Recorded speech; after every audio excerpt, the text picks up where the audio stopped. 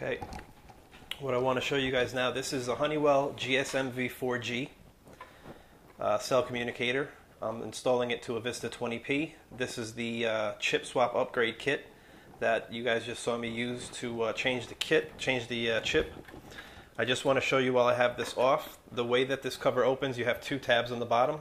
So with a flathead screwdriver or even a key or anything, all you're going to do is you're just going to depress, open up one side, do the same thing on the other side, depress, and it opens forward. So basically now, it's going to be mounted on the wall like that. You're going to pull the cover forward and off.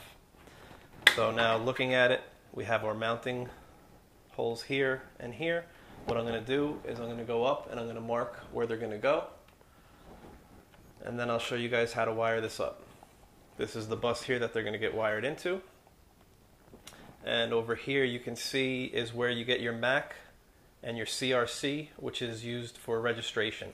So if you purchased any of these through us and they ask you for the MAC and the CRC, you'll notice it's written right here.